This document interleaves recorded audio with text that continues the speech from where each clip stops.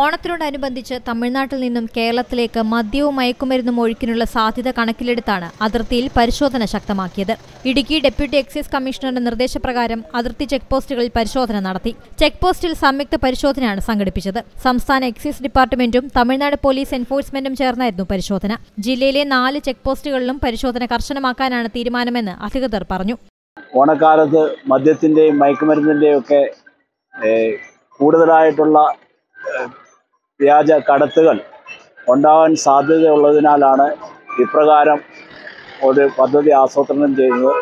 അതിർത്തി ചെക്ക് പോസ്റ്റിലെ സ്ഥിരം പരിശോധനകൾക്ക് പുറമെ വനാതിർത്തികളിലും സമാന്തര പാതകൾ എന്നിവിടങ്ങളിലും പരിശോധന നടത്താനാണ് തീരുമാനം.